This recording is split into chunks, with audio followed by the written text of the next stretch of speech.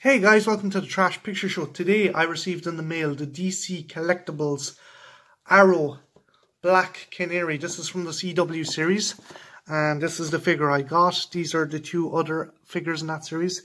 There's Oliver Queen and there's Malcolm Merlyn. This is a long-running CW series which I think is finishing up this year after the events of the Crisis on Infinite Earths, the CW kind of DC crossover. And if I'm not mis mistaken, Oliver's daughter Mia Queen is going to be taking up the mantle. So I think the new series is going to be called Green Arrow and the Birds of Prey. And one of the main characters is actually going to be the Katie Cassidy Black Canary. So let's have a look at the figure. There was actually two Black Canaries in the series.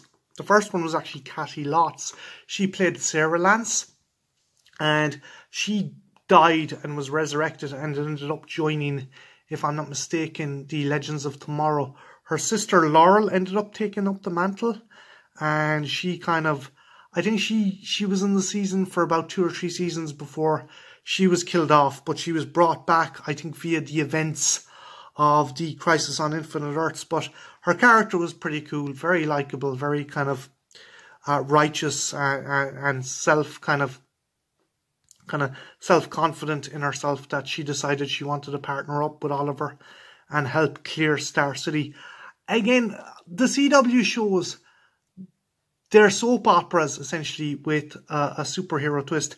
They're fun, they're good, but they're, they're not they're not going to reinvent the wheel. They're not like they're not Neil Gaiman or Grant Morrison level storytelling, but by God, they're still good and still enjoyable. So, um, I, I definitely recommend you check them out. So let's have a look at the figure. Figure is pretty cool.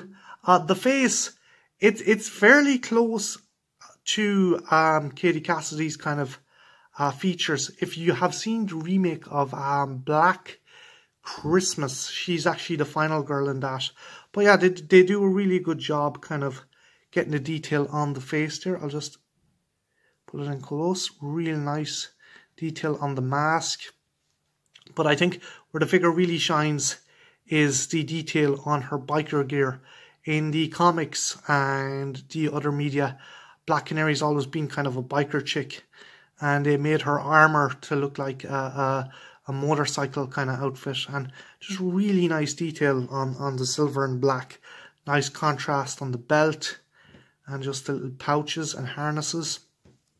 And just even even the they didn't have to do this, but they put the zippers on the boots, on the on the really kind of sexy biker boots.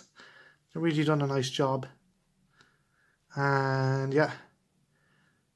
Nice kind of flexibility there in the arms. Uh, the legs are double jointed. A bit gummy when I got it, so I had to kind of, I had to submerge her in warm water to uh, to loosen out the joints. But again, really nice, really nice kind of uh, detail on the figure. Uh, she also comes with uh, this kind of nightstick. Uh, it kind of makes sense because her dad's a cop in the show, so she kind of got this and there's a little there's a little holster for that there so you can you can pop it in like that or you can put it into her hand and she can hold it like this so she's ready to like kick ass she comes with uh, two other sets of hands I kind of mixed it up because I wanted to have her in a battle stance but she comes with these open open hands she also comes with a as well as the left, a right gripping hand. And she comes with these two fists, so she can box the shit out of someone. But uh, yeah, really nice figure, really cool figure. Uh, nice articulation. Um, stands really well.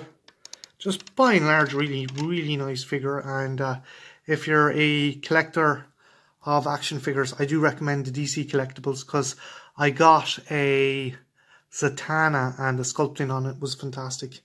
And again, they're, they're not NECA level, but they're certainly not the kind of cheap DC figures that you get for the kids.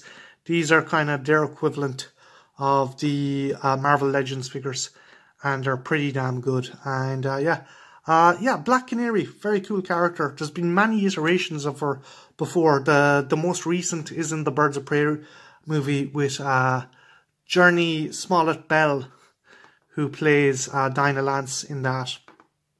There's kind of a backstory to Dinah Lance. Originally, Dinah Lance was in another kind of universe in the DC in the DC comics. She was in the Justice Society. So when they melded both universes together, Dinah Lance was killed and her daughters took over. And both Sarah and Laurel are kind of byproducts of that in the comic. So if you get a chance, definitely check out uh, Black Canary. Very cool character. Which is your favourite kind of version of Black Canary? There's been so many. Uh, did you like this, the Katie Cassidy version? Did you like the Caity Lotz, her sister, who uh, played by Caity Lotz?